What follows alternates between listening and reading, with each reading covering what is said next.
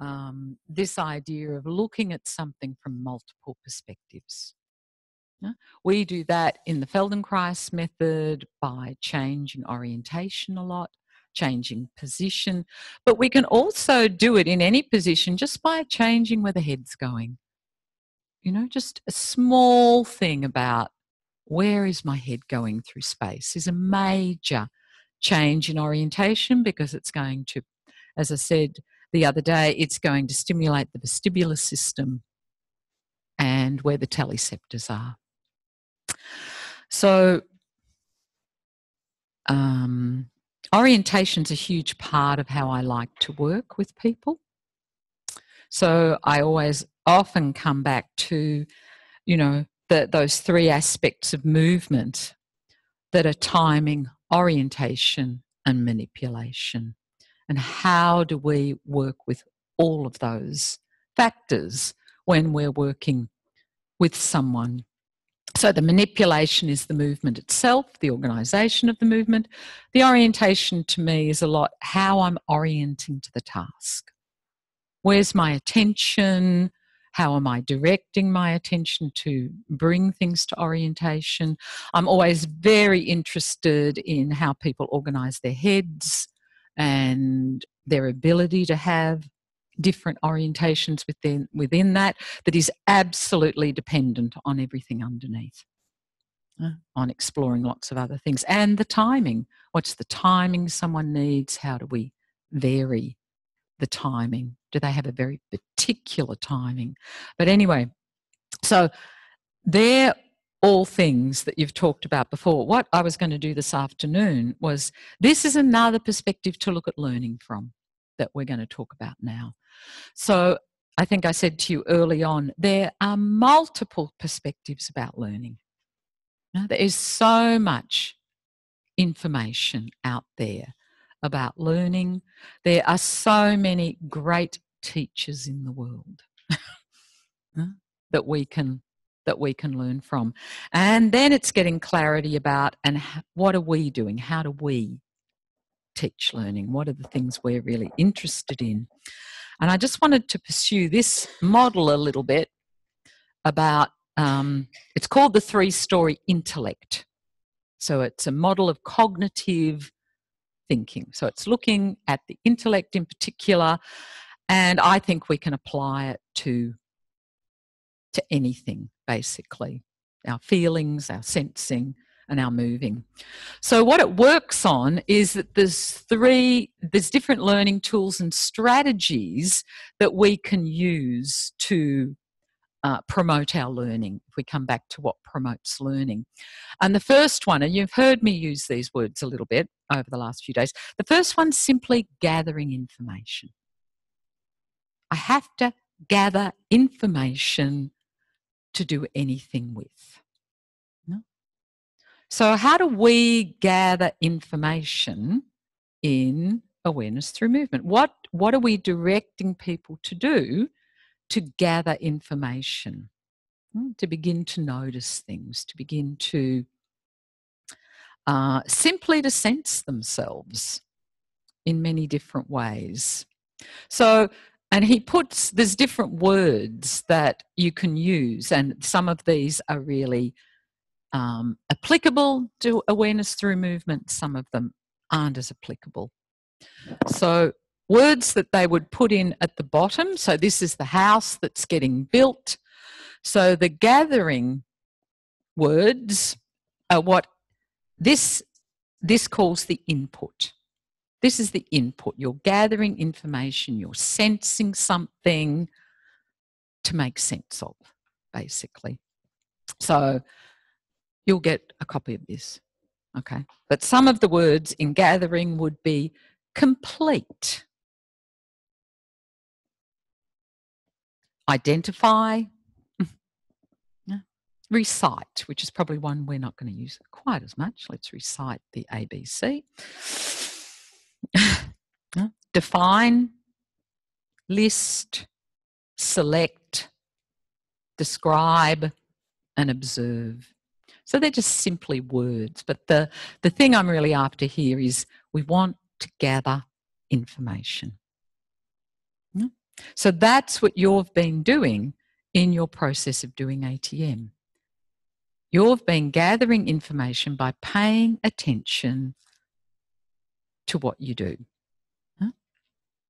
So the next step in the process is processing the information.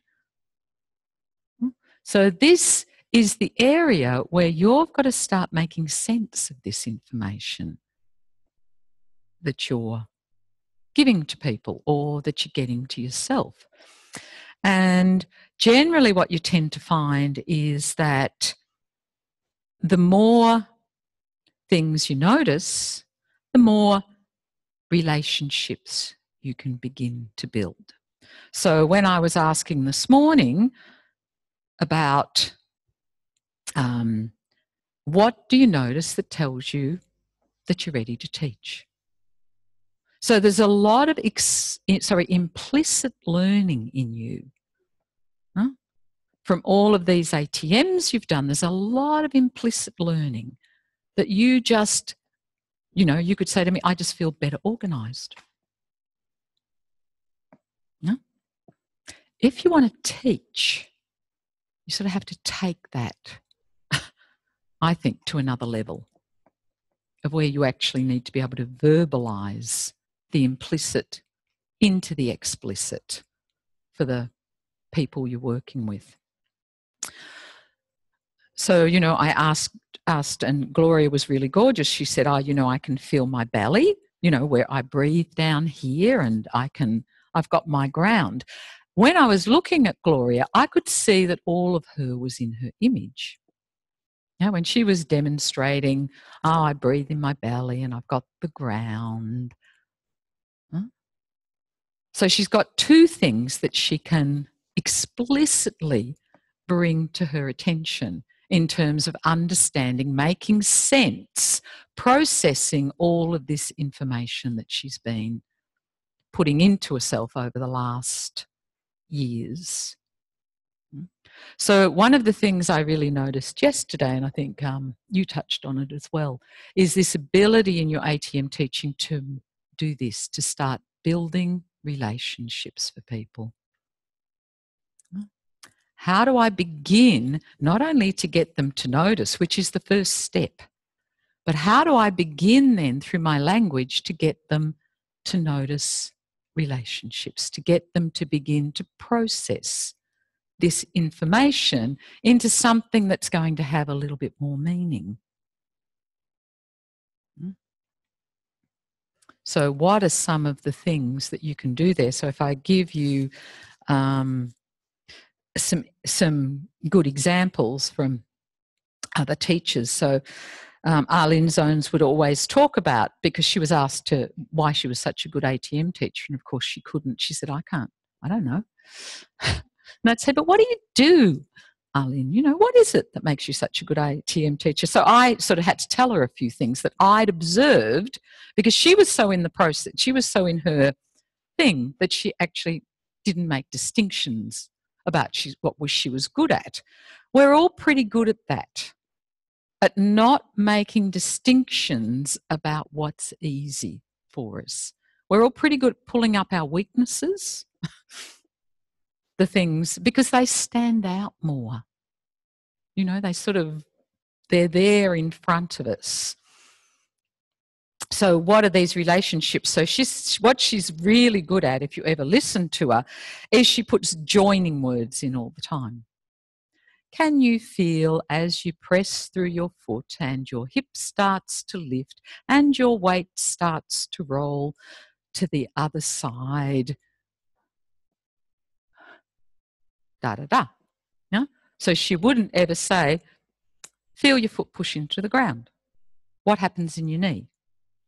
Can you feel that's moving your attention in a different way if I say that than if I say, as you push into your foot, can you feel that your pelvis begins to lift, your weight starts to roll to the other side, and maybe you feel you get longer on the side that you're rolling towards? Hmm? So it's a, that's a really powerful way to begin to make relationships within the movement that someone's doing at the moment. Another great example, this was from Elizabeth Beringer, and this is a little bit in answer to your question or your comment this morning, Philippa. And Elizabeth, at the end of what might have been a very challenging lesson for people, usually big movements through space, would always come back and say, Can you remember anything in that lesson that felt really delicious to do? no matter how small it was, doesn't matter what it was, but something that felt aesthetically pleasing for you. And she will often get people to finish a lesson by doing that, by them having to again, out of all of that that they've done, notice, notice, notice, now let's process. Can you actually remember what it was that actually just felt really good to do? And that's how you can end the lesson.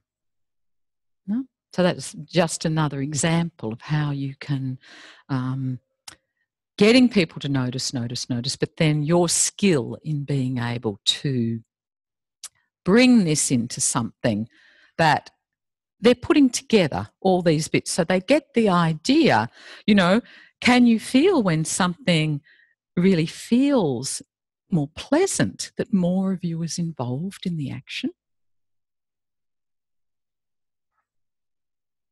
That you can spread your attention more easily?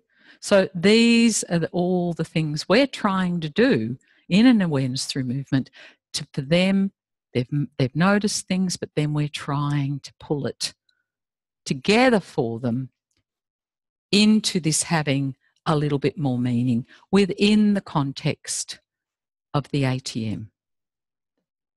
Does that, that make, make sense? So the words that we're going to use there, compare and contrast, powerful learning tool. As soon as you ask someone to compare and contrast, you're asking them to process on a different level than you are when you're simply observing or noticing. Yeah? Because they've got to have two different experiences that they're that they're having to juggle together. Classify, maybe not a word, but sort, distinguish, explain. So often, you know, it's really nice in context of an ATM and they can feel a really big difference at the end. And you simply go, How do you think that happened?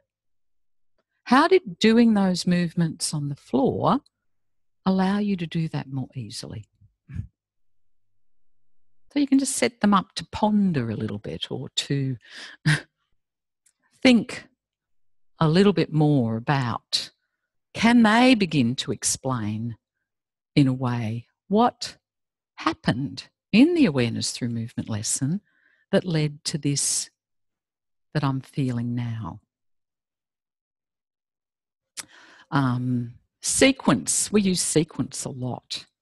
Because again, there's a big difference, isn't there? If we're asking someone to time or sequence a movement and you start here and you go through there, that's a very different way, again, of directing attention than if I'm staying with one part. So, all of these things are just devices to get people to begin to process this information, the input that they're getting.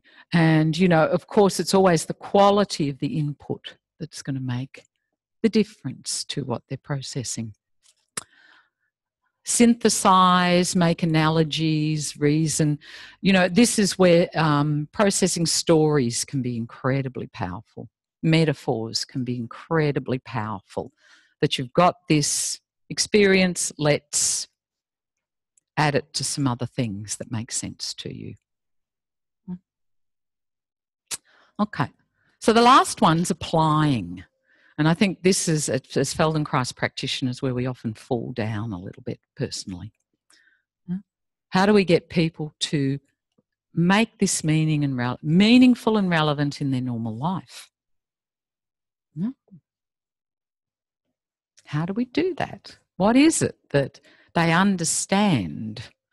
And maybe it's implicit. For some people, it's implicit. They're really sensate people and they get up and they have this experience. They go, That is fantastic. I'm coming back.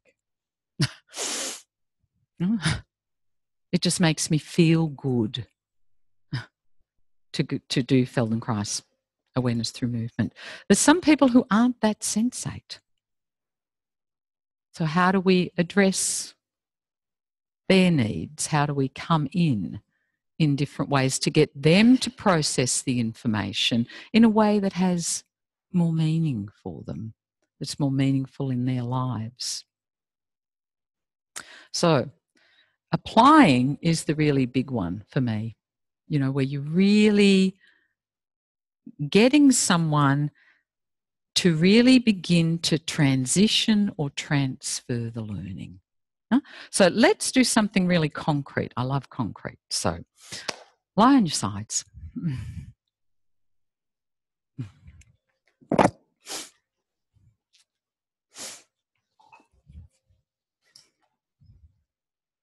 Or on your back, doesn't matter, any position. And you've just been doing this wonderful awareness through movement lesson. huh? Really enjoyed it. so, even as I say that to you, how much can you find that in yourself? How much can you go, I know what Julie's talking about when I say, remember what it felt like to have done an awareness through movement lesson and that Again, what are the components that make us feel good? Any lesson you teach that includes more of the person in their image of the movement and gets them maybe to shift their attention in a non habitual way is going to make a difference. To sense themselves a little bit differently.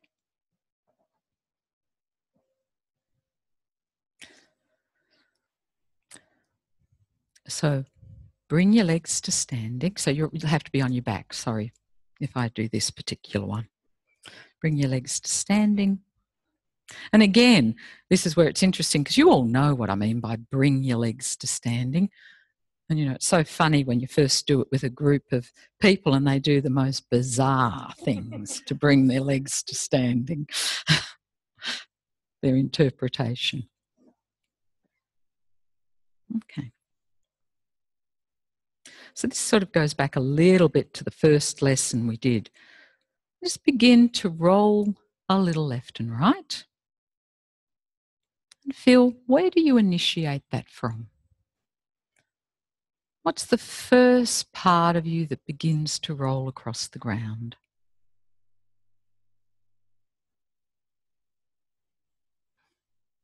So you're rolling a little left and right. And what's the first part? What's in your image? Is it your legs and pelvis that first begin to roll? Is it your shoulders? Is it your head? What's your image? What do you include in your image of yourself when I say roll a little left and roll a little right?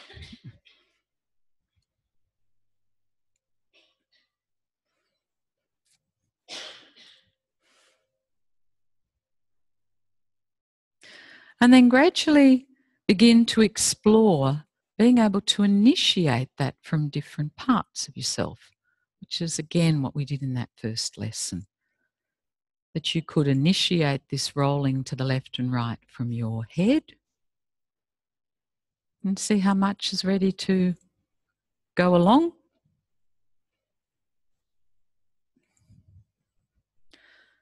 You could initiate this from your shoulders.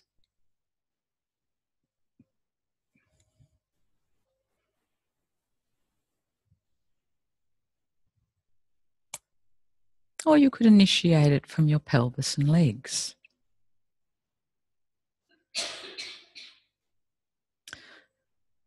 So, within this very simple movement, you have the opportunity to get a real sense of which parts of me are more in my image? Which parts of me are ready to go, ready to move.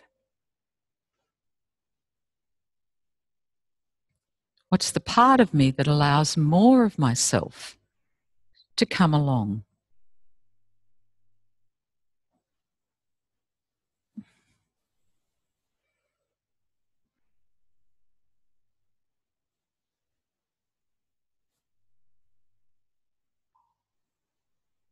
So begin now to move it, begin it from your pelvis. Choose the easiest side. So I've already asked you, um, there's already a lot, but I've already asked you to process information there. From rolling left and right, you're now going to choose the easiest side to begin to roll. So, whichever side is easier, you go over that side.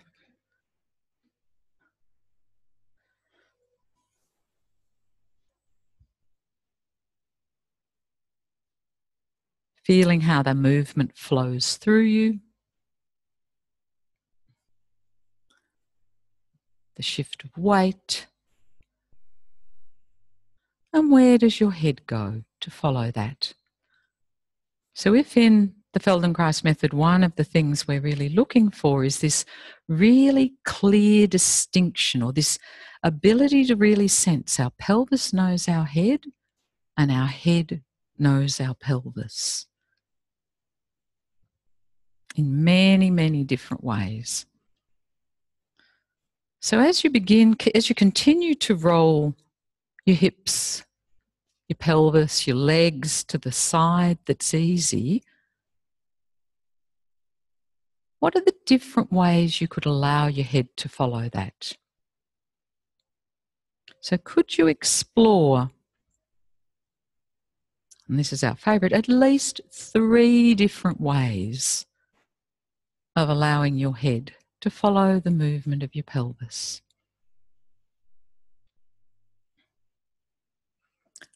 So, it could roll a little in the same direction or the opposite direction. Maybe you tend to, as you do this, your chin moves closer to your chest, or your chin might go away from your chest.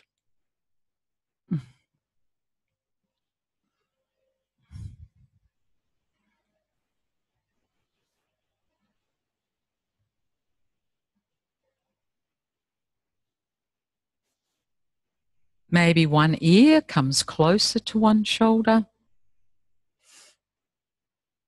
So, could you just explore some of these options and get a sense they might not be familiar to you, but you're exploring this relationship between how I roll my pelvis and legs to the side and where my head could go.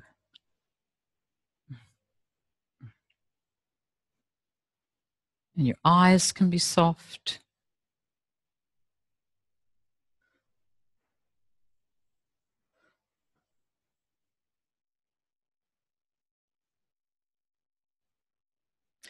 And if you were just simply going to keep following that movement, could you come up to sitting?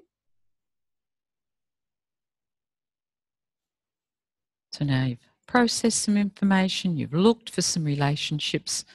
Now you're having to apply it into a movement. You're going to keep moving your pelvis and legs to the one side and see if you can find a way that that could bring you up to sitting.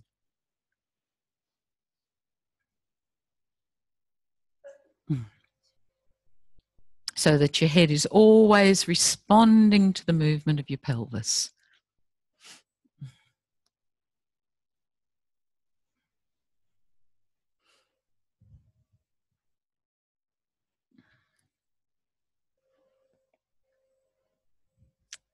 And notice how you do that. So your pelvis is driving the movement. And your head's just responding, it's going along for the ride. And maybe there's different ways that you could t- let your head respond as you come up to sitting. Maybe it could extend or turn or side bend.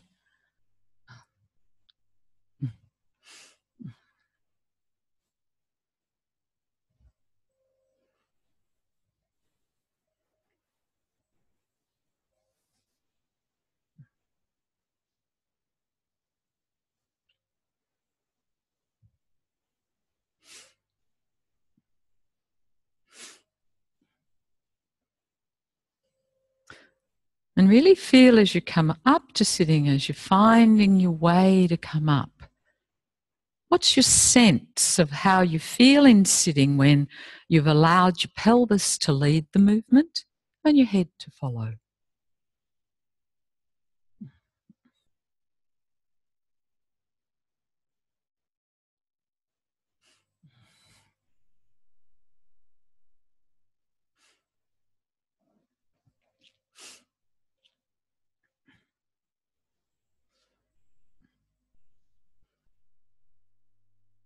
And have a rest.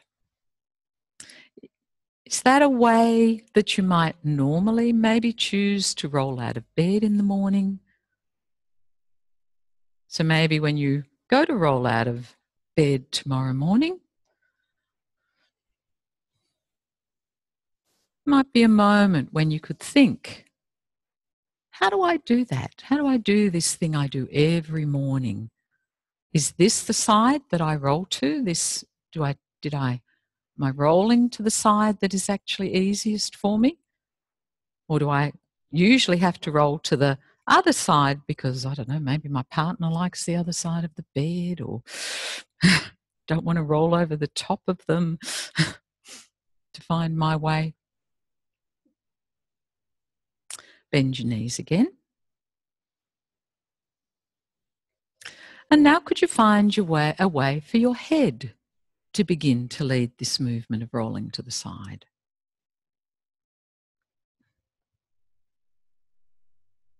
So it's now your pelvis, you're looking for how does my pelvis follow my head?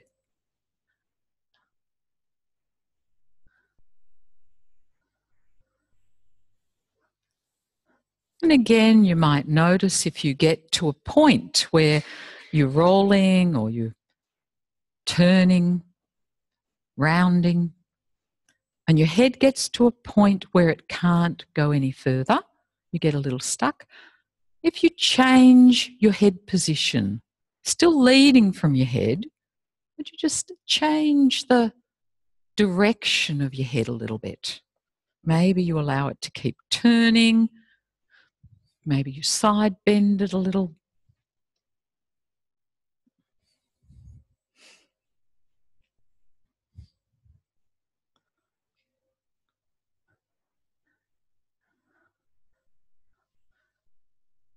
And does orienting your head in a slightly different direction influence how you come up to sitting? So Leah was doing this beautiful one before. If she was coming up and looking up. no? Do you want to do it again? It was gorgeous. So you rolled your pelvis first, but then you took your head up and kept coming up. Look how that's going to influence how she comes up to sitting because of where her head's going, the shape she's going to make. Because everything has to understand now how to follow her head. And developmentally, this is more advanced. For us to begin orienting somewhere with our head, and for that to lead us into movement. How do you come up? How do you feel about yourself when your head's led the movement when you come up?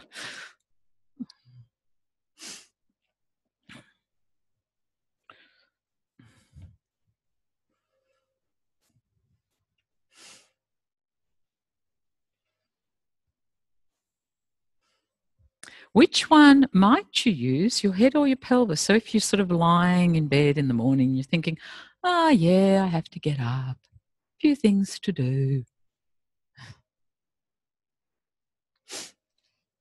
maybe how would you get up if you've if you've already got your list that you're orienting to of what has to be done? Is there something different in your intention that organizes what you do?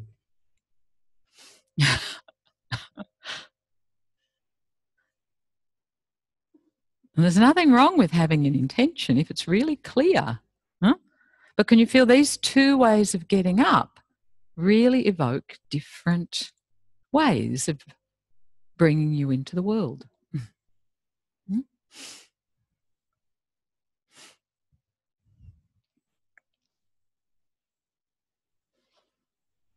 So you're on your back again. And this time you're going to lead with your pelvis heads soft and responsive, just following along. And this time you're going to come all the way up to standing.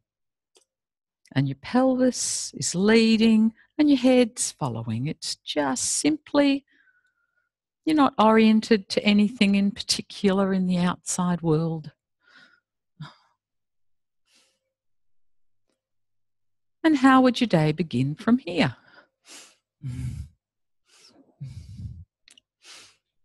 Is this a place that you might normally begin your day? A place maybe you'd like to begin your day from?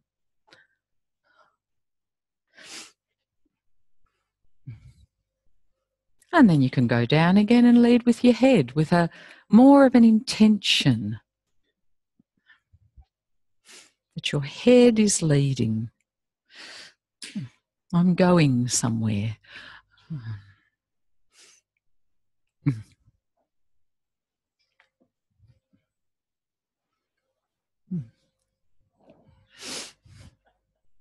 How would that take you into your day?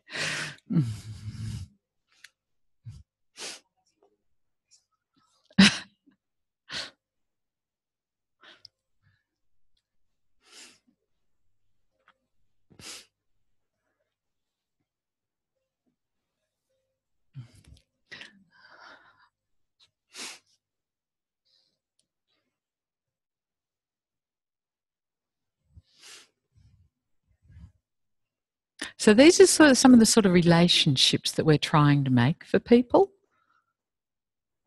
Giving them options, making them aware of their habits, including more parts of themselves in their image. And that's a really simple one, you know, that you can begin to do. There was this really, um, I can't remember the the thing, but there was the X lesson yesterday, you know, and you start off with the periphery moving you, and you're using the periphery to mobilize the middle and bring it to life, to find the middle. So, you know, what, how could you use that in your normal life? What would that be useful for? So, when's it, if I'm up in standing, when what happens if I mobilize myself from my middle? What happens if I'm thinking more of my hands and feet? What's the state that takes me into? Which one's about being more in the world? Which one's about having a bit more space and a few more options and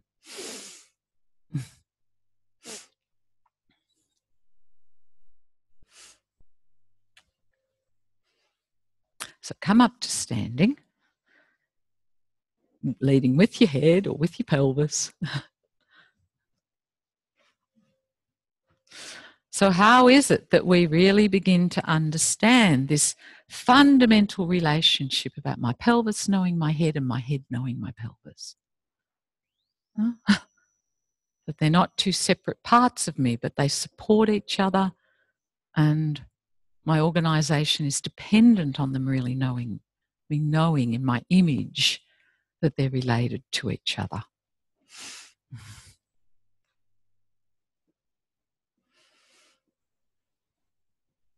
So if you began to walk now and initiate it from your pelvis. So your head's just responding. It's just going along for the ride. And most of you will feel this is a very familiar feeling often at the end of an ATM. this ability where we've given up some of the clear intentionality in our actions that I've got to. This is so. Can you feel this is not for many of us a place where it's like, oh, I've got to go and do the shopping. I've got to organise dinner. I've got to. But maybe there's a way that I could think about that. I've got to do the shopping and I can organise the kids to do this and that I could keep a little bit of this feeling with as I'm doing it. mm. And then maybe for some of us, the opposite, when it's very difficult to really galvanize myself into action. and if you let your head now lead, how's this different? If you're more oriented and you've got a clear orientation with your head about where you're going in space. But your pelvis is still absolutely under there to support it, to carry, to do the work. Okay. So just break into little groups of three and just have a little talk about what was your experience from that.